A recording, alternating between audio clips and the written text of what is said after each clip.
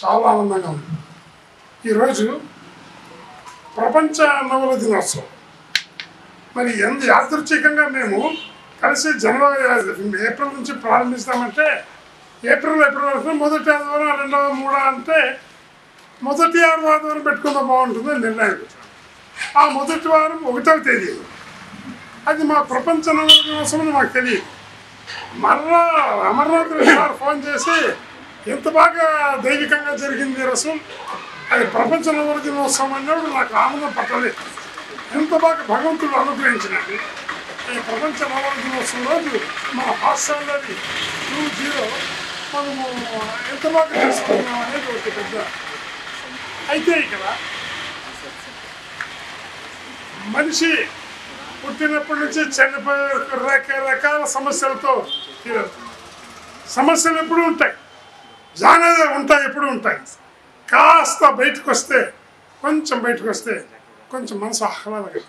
ఎప్పుడైతే మనసు ఆహ్లాదకరంగా నవ్వగలుగుతామో ఆరోగ్యం పెరుగుతుంది జీవన శక్తి పెరుగుతుంది ఇంకా కొద్ది కాలం జీవిస్తారు ఇది పెద్దలు మునులు చెప్పిన శాస్త్రం. ఎప్పుడు నవ్వుతూ ఉంటే ఆరోగ్యంగా ఉంటారు. ఆరోగ్యంగా ఉన్న ఆయన లేదో బాధపడుకుంటూ అట్లే అట్లే ఉంటే వాడు అట్లే కృషించుకొని ఉంటాడు. కాబట్టి నవ్వు నలభై విధాలు గ్రేటు అంటాను. ఇప్పుడు అన్నారు పూర్వం నవ్వు నాలుగు విధాలు చేయటం కాదు నవ్వు నలభై విధాల గ్రేటు. మరి ఆ విధంగా నవ్వుకోగలుగుతాం హాయిగా నవ్వుకోగలుగుతాం. మరి అటువంటి ప్రోగ్రామ్ని మనము అనంతపురం జిల్లాలో మనం ఏమైనా మనం చేయగలమంటే హాస్యంలో ఇంతకుముందు చేసినాం అది జరిగింది. అది కరోనా వచ్చిన తర్వాత అన్నిటికీ స్వచ్ఛ చెప్పినట్లే రకరకాలుగా స్వస్థ పలికినట్లే ఇది కూడా మనం స్వస్థ అయితే మరలా ఇప్పుడు కొంచెం అట్లా కోలుకొని యథావిధిగా జీవితాలు కొనసాగిస్తూ యథావిధిగా గుర్తుంచుకుంటున్నప్పుడు హాస్యంలో కూడా మనం పెడితే కొంతవరకు ప్రజల్లో కనీసం ప్రతి ఆదివారమో పదహైదు రోజులకో కాకుండా కనీసం నెలలో ఒకసారిన ఖచ్చితంగా చెప్తే ఆ ఒక పూటైనా హాయిగా ఉందాము. మిగిలిన ముప్పై ఐదు ఇరవై తొమ్మిది రోజులకి సరిపడే అంత నవ్వు ఆ రోజే చేసుకుని మరలా ఒకటో తేదీ వరకు ఎదురు చూద్దాం. ఎప్పుడెప్పుడు ఒకటో తేదీ వస్తుందా? ఎప్పుడెప్పుడు మొదటి ఆదివారం వస్తుందా? అని ఎదురు చూసే పట్ల మనం ప్రేక్షకుల్ని తయారు చేయాలా? తయారు చేయాలంటే దీంట్లో రెండు విధాలు ఉన్నాయి. ఇంతకుముందు కలిసినప్పుడు మాట్లాడుకొని క్లోజ్ జనగణమన అయిపోతుంది ఇప్పుడు అట్లా కాదు ఇప్పుడు రికార్డ్ అవుతుంది యూట్యూబ్లోను రకరకాల ఛానల్స్లోను అప్డేట్ అయిపోతుంది. అవి మనం చెప్పిన జోక్స్ మనమే చూసుకోవచ్చు చూడని వాళ్ళు మరలా చూసుకోవచ్చు.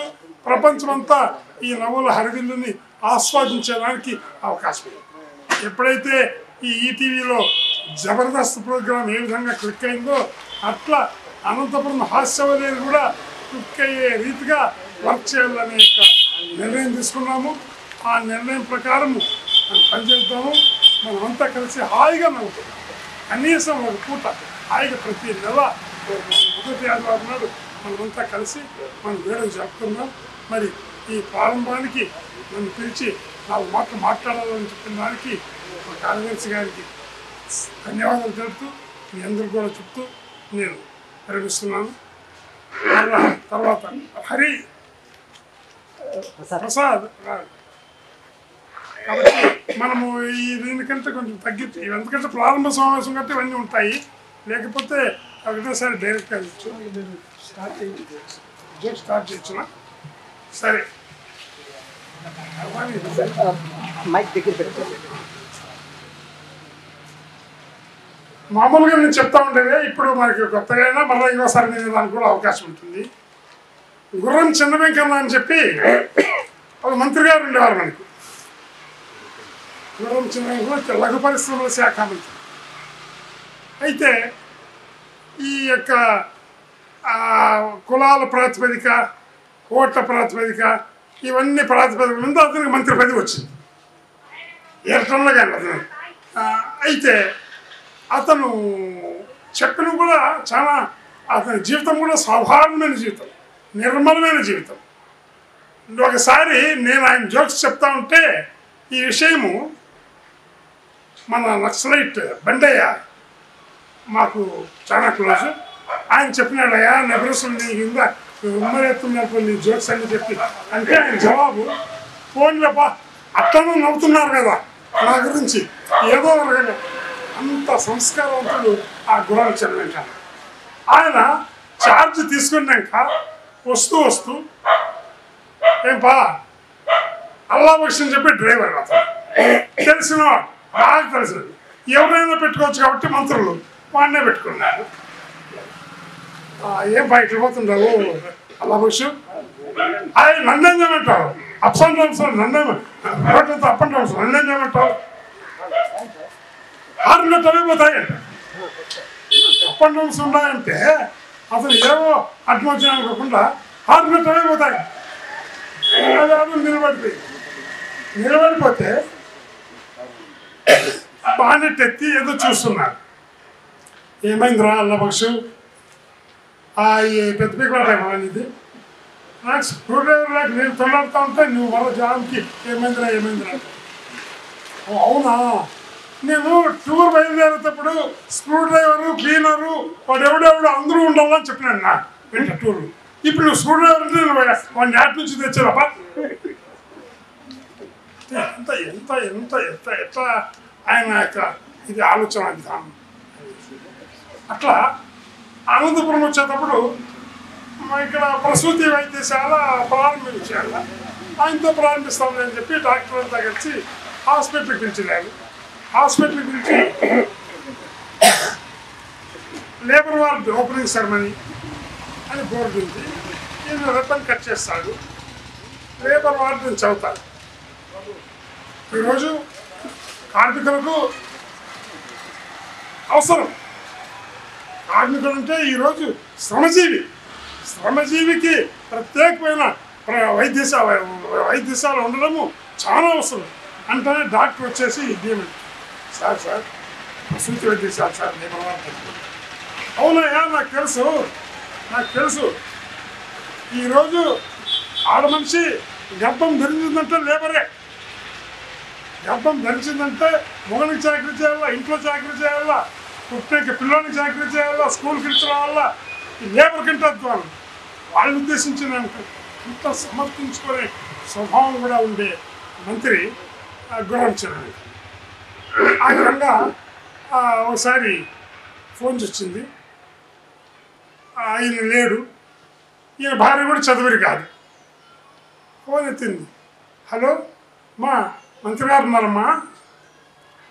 ఆ, ఏ, బయటికి పోయాడప్పా ఎవరు మీరు మేము ముఖ్యమంత్రి ఫోన్ చేయమన్నాడమ్మా ఆ, కనుక్కోమన్నాడు అర్జెంట్గా మీటింగ్ కాకట్టు పోయినాడపా అవుట్ సైడ్కి పోయేదానికి మనము టాయిలెట్ మనము, రకరకాలు వాడతాము. అది గురువుకొని రాసేంటే కాకట్టు పోయాడు. నెట్టుకు పోయింది. అరే కాల్తొట్టు అనేది ఎక్కడ ఎక్కడ మాది? ఎంత దూరం ఉంటుందా? మంచిలాలోనే ఉందా? అయ్యా పెద్దగతే కదా అది అవన్నీ అడుగుతారు నేను మళ్ళా అని ఫోన్ పెట్టేసింది వాళ్ళంతా ఫోన్ పెట్టేసిన దాని నుంచి ఇమ్మీడియట్గా కలెక్టరేట్కి రెవెన్యూ డిపార్ట్మెంట్ అందరికీ కాల్తొట్టు అనేది అనంతపురం జిల్లాలో ఎక్కడుంది? ఏ మండలంలో ఉంది? పూర్వకొండకు దగ్గరలో ఉంది, బళ్ళారి ఉంది కాబట్టి కర్ణాటకలో ఆ, ఉంది? కర్ణాటకలో పోయింటారు? కర్ణాటకలో కాల్తొట్టు ఉంది అక్కడ క్యాబినెట్. కర్ణాటక గవర్నమెంట్కి కూడా అడిగి అనంతపురం ఆంధ్రప్రదేశ్ చీఫ్ మినిస్టర్ అడుగుతున్నాడు. కాల్తొట్టు అనేది మీ బళ్ళారి అనంతపురం మధ్యలో ఎక్కడైనా ఉందా? ఇంత ప్రాపగండ జరిగే తోల ఈయన వచ్చేసినాడు. పోనొచ్చాడు జడ్లకి నేను ఎన్నిసార్లు చేసినాడు హలో నేను మంత్రి మాట్లాడుతున్నాను అవునా సార్ సార్? సార్ మీరు ఆ, కాల్తొట్టు అనే అది ఎక్కడ పోయినారు? సార్ ఇప్పుడు ఆలపా నేను వచ్చినాను కదపా నేను మాట్లాడి నేను చెప్పైనా మాట్లాడతాను. అది కాదు సార్ మాకు సెక్యూరిటీ ప్రాబ్లము రేపు పొద్దున మీరు కాల్తొట్టు ఎక్కడ ఉన్నారనేది మాకు ఎక్కడ అక్కడ సెక్యూరిటీ ప్రాబ్లం కాబట్టి ఆ ఎక్కడ ప్లేస్ అని చెప్తే మేము ముందు జాగ్రత్తగా మంత్రి కాబట్టి మీరు చేయాలా? అది మన రాష్ట్రంలో లేదా పక్కన లేదబ్బా అదంతా ఏం లేదు. అంటే మీరు కాల్తొట్టు పోయినాబ్బా కాల్తొట్టు పోయినాను మరి ఆడు సార్ అది అంటే ఎట్లా చెప్పాలి నేను అని. అంటే అంత రహస్యమైన వంతనాలు కూడా జరుగుతుంటాయి సార్. మంత్రిగా ఇది మీరు చేయకూడదు సార్. రహస్యవంతనాలకు వేరే అటు అయ్యో ప్రాణం ప్రమాణం అది కాదప్పా. అది కాదు. మరి చెప్పాలి సార్. అర్ధ గంట బతిమాలినాక అప్ప ఓ పని చేస్తారప్ప ఈసారి పోన్నాయా ఈసారి పొద్దు చెప్తా పట్టండి. ఇంకేమా ఆ సాలా ఈయన అడగద్దండి. అట్లా స్టార్ట్ చేసినాక మిత్రులు ఆ విధంగా జరిగింది. పెద్దగా ఆయన గురించి ఒకసారి కలుసుకొని జరిగినా కూడా మంత్రి వెంకన్నగా ఉన్నాయి మరలా సందర్భంలో మరలా మరికొన్ని చెప్పి చెప్పడానికి ప్రయత్నం చేస్తాను. నాకు అవకాశం కల్పించినందుకు ధన్యవాదాలు ముఖ్యమంత్రి సార్.